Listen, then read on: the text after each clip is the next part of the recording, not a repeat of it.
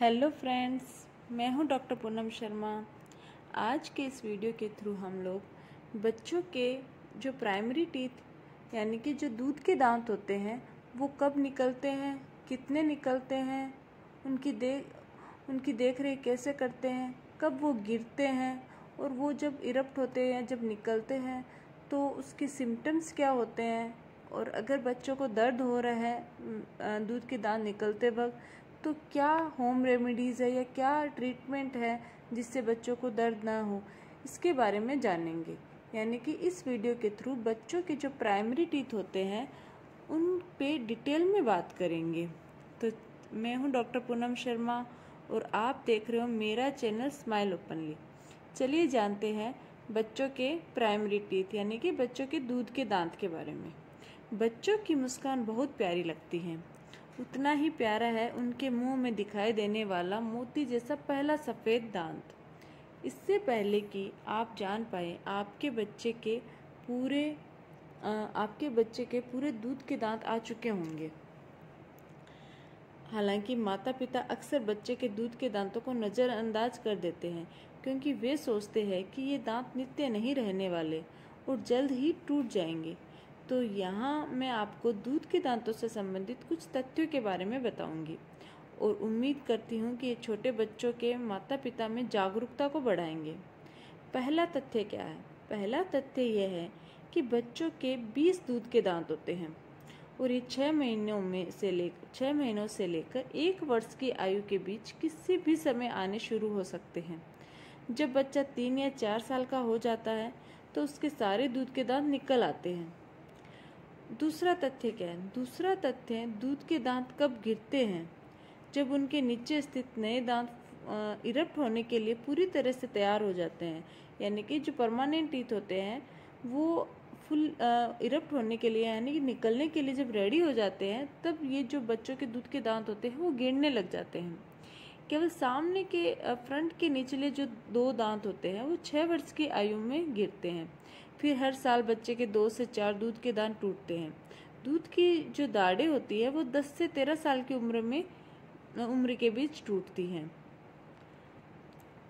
तीसरा तीसरा तथ्य क्या है? तीसरा तथ्य है, पहली बार दंत चिकित्सक के पास कब जाए?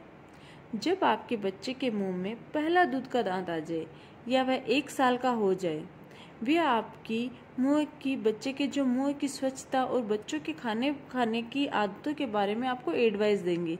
ये सलाह बच्चों के दांतों को सड़ने से रोकने में काफ़ी मददगार साबित होगी। चौथा तथ्य क्या है? चौथा तथ्य, जब बच्चों के दूध के दांत निकलने लगते हैं तो उनके मसूड़ों में दर्द होता है। वे अधिक लार टपकाते हैं, उन्हें भूख नहीं लगती, तथा रात को ठीक से सो नहीं पाते। वे चिड़चिड़े हो जाते हैं और राहत पाने के लिए किसी खिलौने को या अपनी उंगलियों को चबाना चाहते हैं। गंदी वस्तुओं को या उंगलियों को चबाने से दस्त या बुखार हो सकता है। इन बीमारियों के कारण दांतों को निकलना नहीं होता निकलना नहीं होता और अगर आपका बच्चा बीमार है तो उसे किसी चिकित्सक के पास ले जाए। अब है पांचवा तथ्य। पांचवा तथ्य क्या है? पांचवा तथ्य है, जितनी जल्दी आप अपने बच्चों के दांतों की सफ़ाई पर ध्यान देंगे, उतना ही बेहतर होगा। जन्म से लेकर एक साल की उम्र तक दांतों और मसूड़ों को साफ़ एवं गीले कपड़े से साफ़ करें। एक साल की आयु के बाद बच्चों के दांतों को एक नरम ब्रश के साथ, यानी सॉफ्ट ब्रिस्टल वाला जो बच्चों का ब्रश आता है, उसके साथ साफ़ करना शुरू करें। सिक्स तथ्य, छठा तथ्य क्या है? छठा तथ्य है बच्चों के जो फ्लोराइड टूथपेस्ट आते हैं 500 ppm का जो फ्लोराइड टूथपेस्ट होता है उसका इस्तेमाल दो साल की आयु में किया जा सकता है। जब आपका बच्चा थूकना एवं कुल्ला करना सीख जाए और टूथपेस्ट के स्वा, स्वाद को स्वीकारने लगे तो आप 1000 ppm वाले फ्लोराइड से युक्त फ्लोराइड टूथपेस्ट का इस्तेमाल करना शुरू कर सकते हैं। यह एडवाइस उन लोगों के लिए सही है जो बिना फ्लोराइड वाले पानी का सेवन करते हैं। देश के अधिकांश भागों में पीने के पानी में प्राकृतिक फ्लोराइड नहीं होता है। भारत के नगर निगम का पानी भी फ्लोराइड युक्त नहीं होता। अगर आप एक ऐसे क्षेत्र में रहते हैं जहाँ के पीने के पानी में फ्लोराइड मौजूद होता है तो अपने बच्चों को छः साल के आयु में फ्लोराइड टूथपेस्ट से ब्रश कराना सिखाइए। कम उम्र में बच्चों को सेल्फ केयर स्किल डेवलप करने के लिए अपनाएँ, यह सातवां तथ्य जब बच्चा दूध पीते सो जाता है तो वह स्तन या बोतल के दूध की आखिरी घूंट को उसी समय नहीं निगलता। यह दूध उसके दांतों के आसपास जमा हो जाता है और ये दांतों के टूटने का या दांतों के खराब होने का कारण बन सकता है। इससे सबसे अधिक प्रभावित उनके सामने के ऊपरी दांत और दाढ़े होती हैं। अब है आठवां तथ्य। आठवां तथ्य क्या है? आठवां तथ्य ये है कि साल में दो बार अपने बच्चों के दांतों की जाँच ज़रूर करवाएँ। नियमित रूप से की गई दंत चिकित्सा आपके बच्चों के दांतों को कैविटी मुक्त रखने में मदद करेगी। अक्सर कई बच्चों को दंत चिकित्सा की अधिक ज़रूरत पड़ती है और इनके कारण जो दांत खराब हो जाते दांत के जो खराब होने का खतरा है, वो बढ़ जाता है। असामान्य विकास प्रणाली और खराब मुँह की स्वच्छता होने की वजह से बच्चों के जो टीथ होते हैं, वो खराब जल्द मतलब उनमें कैविटीज हो जाती है या वो खराब जल्दी हो जाते हैं।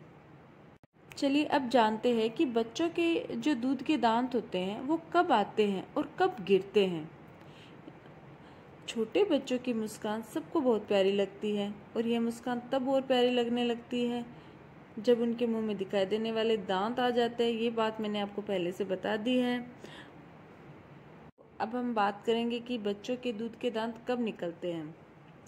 बच्चों का जब पहला दांत आता है तो वह हर पल माता पिता के लिए, वह पल, हर माता पिता के लिए खुशी के पल के समान होता है। परंतु यह दांत स्थायी नहीं है, परमानेंट नहीं है और कुछ साल बाद यह दांत टूट जाते हैं। बच्चों के दूध के दांत बीस आते हैं और यह छः महीने से लेकर एक साल की आयु के बीच कभी भी आने शुरू हो सकते हैं।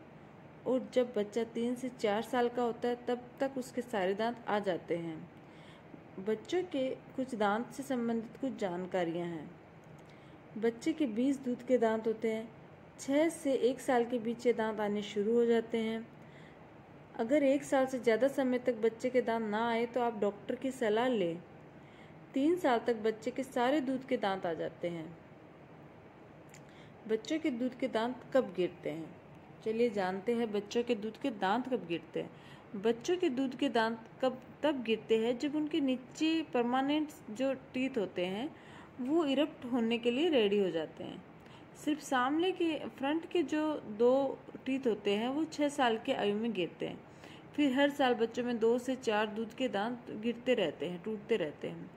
दूध की मसूड़े भी, दूध के जो मसूड़े भी होते हैं, वो दस से तेरह साल की उम्र के बीच टूटते मतलब जो दाढ़ होती है अक्ल दाढ़ होते हैं, जो अक्ल सॉरी जो दाढ़े होती है बच्चों के, छोटे बच्चों की, वो दस से तेरह साल की उम्र के बीच टूटती है। परंतु जब बच्चों के दूध के दांत निकलने लगते हैं तो उनके मसूड़े में बहुत दर्द होता है और वे अधिक लार टपकाते हैं।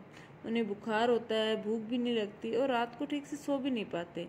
इन कारणों से बच्चा चिड़चिड़ा हो जाता है और राहत पाने के लिए वह किसी भी खिलौने या कोई भी चीज़ को अपने मुँह में डालता है। इस दौरान बच्चों को प्रॉब्लम हो सकती है, जैसे क्योंकि मुँह में ज़्यादा ज़्यादा देर तक फिंगर रखने से या कोई भी चीज़ गंदगी रखने से उसको अदर डिज़ीज़ जैसे कि डायरिया की प्रॉब्लम हो सकती है और उसको इन्फेक्शन हो सकता है। कई बार बच्चे दूध पीते पीते सो जाते हैं तो उनको कैविटीज़ हो जाती हैं।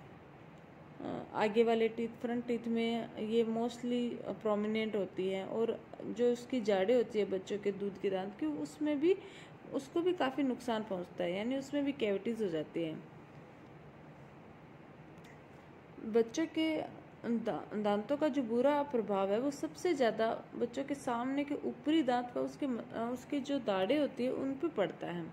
इसलिए हर माँ को चाहिए कि वह अपने बच्चों के दांतों की और मुँह की पूरी सफ़ाई रखे।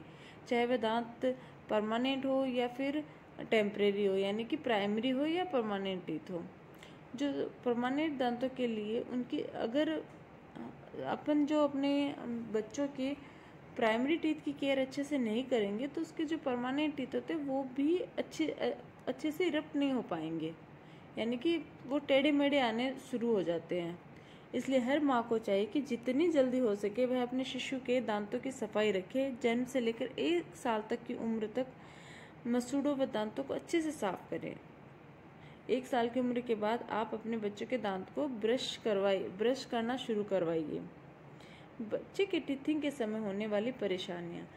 चलिए जानते हैं कि बच्चों की जब टीथिंग होती है, यानी बच्चों के जब दांत इरप्ट होते हैं तो क्या क्या परेशानियों का बच्चों को सामना करना पड़ता है? तो सूजन और लाल, मसूड़ों का लाल होना, मसूड़ों को रगड़ना या चूसना, नींद आना, बुखार, दस्त, उल्टी, मसूड़े में जलन से परेशान होना, अपने कानों को रगड़ते हैं जिधर उन्हें मसूड़े में खुजली होती है किसी चीज़ या खिलौनों को चबाना। बच अब जानते हैं बच्चों के दांतों का जो दर्द होता है, उसको जब बच्चों के ये जो टीथ आते हैं, प्राइमरी टीथ जब इरप्ट होते हैं तो बच्चों के दांतों में दर्द होने लग जाता है। जहाँ से वो इरप्ट होएँगे, उससे के दर्द होते तो वो दर्द अगर हो रहा है तो उसको दूर करने के उपाय क्या है? इस इस वीडियो में हम लोग अभी होम रेमेडीज़ के बारे में जानेंगे। बच्चों के टूथ एक की होम रेमेडीज़। चलिए जानते हैं। इसके लिए आप अपने बच्चों, अगर आपके बच्चों के दूध के दांत या दांतों में दर्द हो रहा है तो क्या करना चाहिए? इसके लिए आप अपने बच्चों के मसूड़ों की हल्के हाथ से मालिश करें। इसके लिए आपको सूती का सूती कपड़ा लें और उसके मुँह की मालिश करें। आपको बाज़ार में कई तरह के टिथर मिल सकते हैं, जो बच्चों में दांतों का दर्द दूर करने में बहुत सहायक होते हैं। आप टीथर को फ्रीज में ना रखें, लेकिन उसे बच्चों को देने से पहले कीटाणु मुक्त करें या ऐसी चीज़ चबाने को दे जिसे रोज़ बदल सके, जैसे गिलास, नारियल का टुकड़ा। टिथर खरीदने, टिथर आप कहीं से भी खरीद सकते हैं, बट अच्छी क्वालिटी का ले, जिससे आपके बच्चों को कोई नुकसान ना हो। थर्ड है पाँच तुलसी के पत्तों का रस शहद में मिलाकर बच्चों के मसूड़ों पर लगाने या उनको चटाने से दांत निकलते सम, निकलते समय दर्द नहीं होता। बच्चों को वंशलोचन और शहद मिलाकर चटाना चाहिए। इससे दांत सुंदर निकलते हैं और दांतों का दर्द भी खत्म हो जाता है। बच्चों के दांत निकलते समय होने वाले दर्द को कम करने के लिए दो चम्मच अंगूर का रस प्रतिदिन पिलाएँ। आप अंगूर के रस में शहद मिलाकर भी पिला सकते हैं। इससे दांत स्वस्थ और मज़बूत निकलते हैं। ज़्यादातर बच्चों के दांत छः से आठ महीने में निकलने शुरू हो जाते हैं और कुछ बच्चे इसके बाद भी दांत निकालना शुरू करते हैं। इस दौरान बच्चों को बहुत सी परेशानियाँ भी होती हैं, जिससे बच्चों के स्वभाव में परिवर्तन हो जाता है। इस समय बच्चों के दांतों में जो दर्द होता है, वो सबसे सामान्य समस्या होती है। दांत निकलने के समय कई बच्चों में उल्टी, दस्त, डायरिया जैसी समस्या हो जाती है। ऐसे में बच्चों को कभी बुखार नहीं होता, लेकिन जिन बच्चों का अधिक दर्द का अनुभव होता है, उन्हें उस परेशानी के कारण बुखार हो सकता है। तो चलिए, आज हम जानते हैं कि कई समस्याएँ जैसे बच्चों के दांत में दर्द का इलाज, बच्चों के मसूड़ों में दर्द का इलाज, व अन्य कई परेशानियों का उपाय जानते हैं। उपाय जानने की कोशिश करते हैं। सबसे पहले हम जानते हैं कि बच्चों के जो दांत निकलने के लक्षण क्या हैं। जब शिशु दांत निकालने लगता है, जब शिशु में दांत निकलने लगते हैं तो उसके मसूड़ों में बहुत दर्द होता है। साथ ही बच्चे की यदि समय अच्छे से देखभाल ना की जाए तो उससे इन्फेक्शन हो सकता है। इन्फेक्टिक मतलब कुछ बीमारियाँ हो सक, फैलने का खतरा रहता है, जिसके कारण उनमें कमज़ोरी और चिड़चिड़ा होने का डर रहता है। जब भी बच्चे के दांत निकलने लगते हैं तो उसके कारण का बच्चा काफ़ी कमज़ोर हो जाता है एंड वीक फील होता है। कई बच्चों को इस दौरान दस्त, उल्टी और आदि लग जाते हैं और कुछ बच्चों को पेट दर्द व कब्ज की समस्या भी हो जाती है। इस समय बच्चों के मसूड़े भी सख्त हो जाते हैं। बच्चों के स्वभाव में भी परिवर्तन आता है, जिससे बच्चे चिड़चिड़े हो जाते हैं और अक्सर रोते रहते हैं। बच्चों को इस समय मसूड़ों में खुजली, सूजन और दर्द का अनुभव होता है। जिसके कारण उनकी आँखों में से पानी निकलता रहता है। बच्चों के दांतों का दर्द दूर करने के लिए कुछ और घरेलू उपाय हैं, जैसे कि बच्चों के मसूड़ों की मसाज करना। यदि आपको ऐसा लग रहा है कि आपका बच्चा दांत निकालने, आपके बच्चे का दांत निकलने वाला है तो आपको अपनी उंगली की मदद से बच्चों के मसूड़े की मसाज करनी चाहिए। इसके लिए बस आपको अच्छे से अपनी उंगली को साफ़ करना है और बच्चों के मसूड़े को अच्छे से दो मिनट के लिए दबाना है। ऐसा करने से बच्चों को दांत निकलते समय, होने वाले दर्द की समस्या से आराम पाने में मदद मिलती है। आप अपनी उंगली पर गिल्ला मुलायम कपड़े को डालकर भी मसाज कर सकते हैं। सेकेंड है टीथर का इस्तेमाल करें।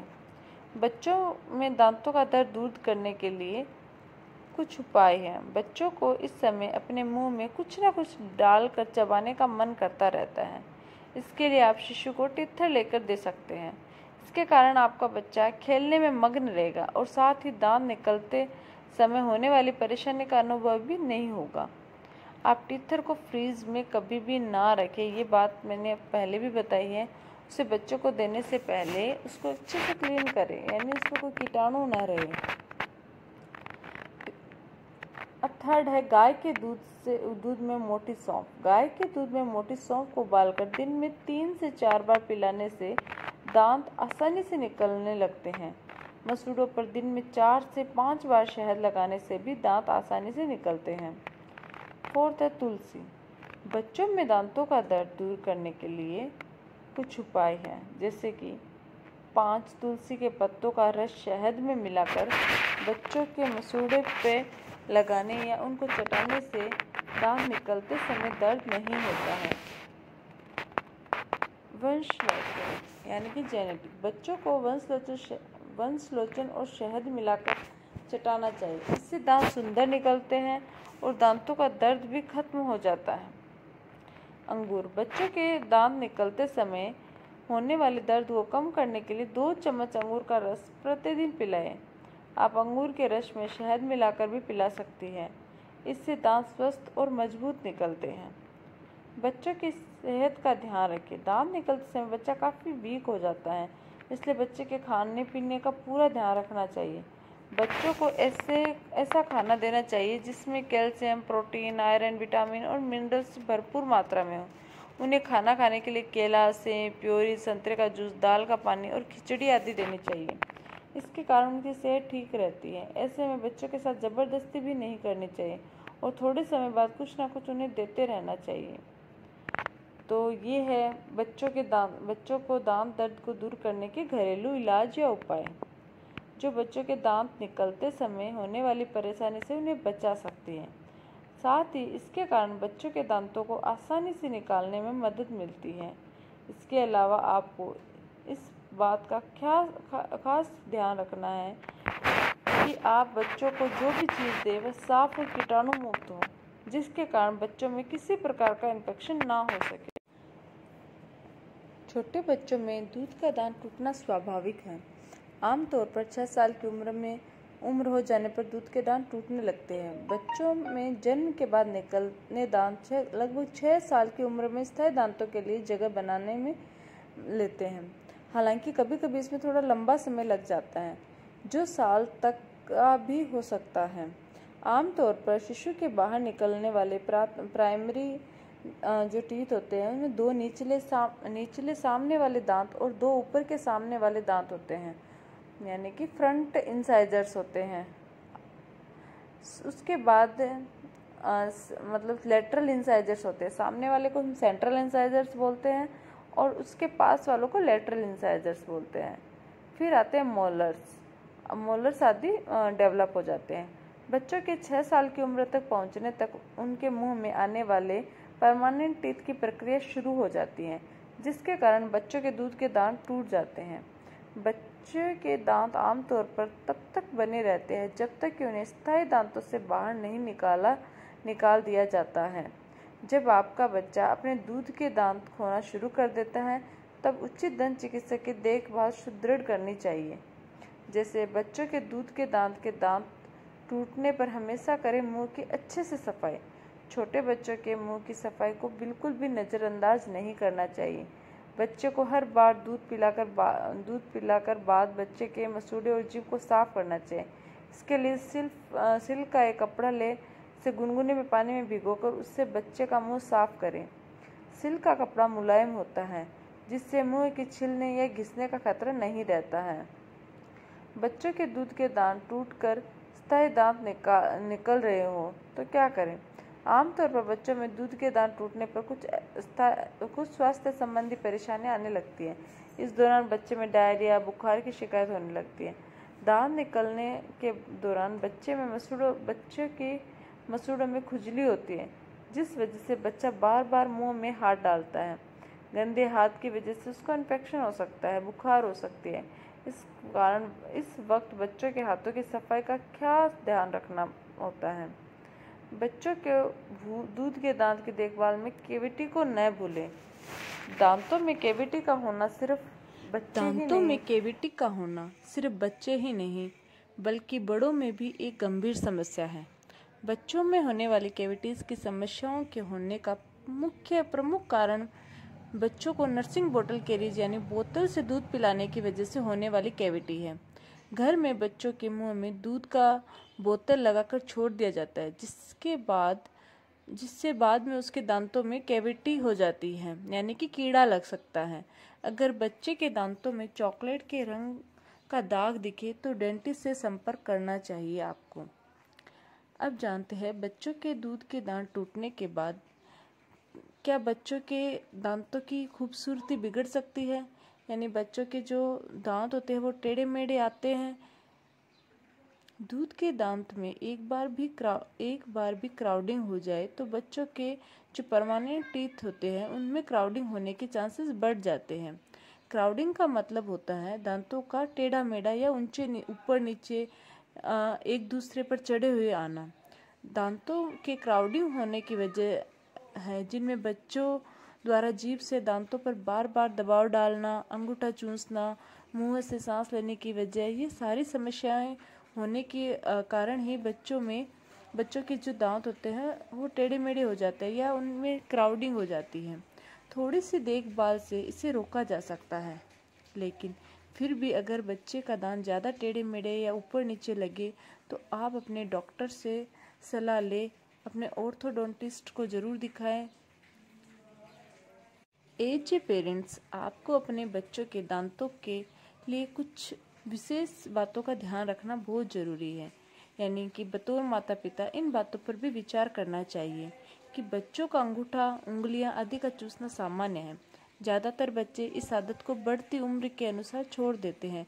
लेकिन अगर बच्चा चार साल की उम्र के बाद भी चूसने की, अंगूठा चूसने की आदत नहीं छोड़ रहा है तो आप अपने किसी डेंटिस्ट से सलाह लें। वे आपके बच्चे के दांत के विकसित होने की समस्याओं को देख सकते हैं। ज़्यादातर बच्चों में छः साल की उम्र तक अंगूठा चूसने की आदत के बारे में चिंता करने का कोई कारण नहीं है, जब सामने परमानेंट टीथ अंदर आते हैं। चलिए जानते हैं कि बच्चों के दूध के दांतों की देखभाल करने का सही तरीका क्या है।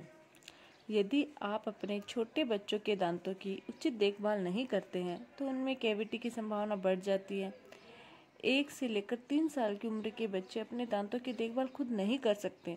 ऐसी सिचुएशन में पेरेंट्स को उनके दांतों की सफ़ाई का ध्यान रखना चाहिए। ऐसी स्थिति में पेरेंट्स को उनके दांतों की सफ़ाई का ध्यान रखना चाहिए। दांत निकलने से पहले उनके मसूड़ों और जीभ की सफ़ाई पर भी ध्यान देना बहुत ज़्यादा इम्पोर्टेंट है। इससे बच्चों के या शिशु के दांत और मसूड़े स्वस्थ रहेंगे। आमतौर पर छः महीने के बाद बच्चे के दांत निकलने शुरू हो जाते हैं, लेकिन कुछ बच्चों के एक साल के बाद ही दांत निकलते हैं। इन्हें दूध के दांत कहा जाता है। बच्चे के ये दांत तीन साल तक बढ़ते हैं और छः साल के बाद टूटने लगते हैं। बच्चों के दांतों की देखभाल कैसे करें? जब दांत निकल आते हैं तो बच्चों के, जब दांत निकलने की प्रक्रिया उनके लिए, आपको पता है कि जब बच्चों के दांत निकलते तो वो निकलने की जो प्रक्रिया है, वो बहुत ज़्यादा कष्टदायी होती है। शिशु उस समय चिचिड़ा हो जाता है और उसे खाने पीने में परेशानी होती है। दांत निकलने पर बच्चे को हल्के दस्त और बुखार की शिकायत भी हो सकती है। दांतों की सफ़ाई करें। खिलाने के बाद बच्चे के मसूड़े को एक साफ़ कपड़े से पोंछ ले। यह दांतों की चिपचिपी परत से छुटकारा पाने में मदद करेगा, जो दांतों को नुकसान पहुँचा सकती है। रोज दो बार ब्रश ज़रूर करें। बच्चे के मसूड़े सॉफ्ट होते हैं, इसलिए सॉफ्ट टूथ ब्रश का ही इस्तेमाल करें। सर्कुलर मोशन में ब्रश करें। जीभ साफ़ करना न भूलें। रात को दूध की बोतल न दें। अक्सर कुछ माताएँ अपने बच्चे को सोने के लिए दूध की बोतल मुँह में डालती हैं। लेकिन लंबे समय तक इसे बाहर नहीं निकालती। जब शिशु सो रहा हो तो दूध की बोतल मुँह में न डालें। इससे दांत में कैविटीज होने की संभावना बढ़ जाती है। एक साल की उम्र से अपने बच्चे को बोतल से दूध पिलाने की आदत छुड़ाना शुरू करें और कब से दूध पिलाना शुरू करें। पेसीफायर का उपयोग ठीक नहीं है। कई बार पेसीफायर नीचे गिर जाता है और बच्चा फिर से उसे मुँह में डालता है। ऐसे उसका मुँह का जो स्वास्थ्य है, वो बिगड़ता है। बच्चे का मुँह का स्वास्थ्य का ध्यान रखना बहुत ज़्यादा इम्पोर्टेंट है। जब दांत निकलते हैं तो माता पिता अक्सर बच्चे को शांत करने के लिए पेसीफायर देते हैं।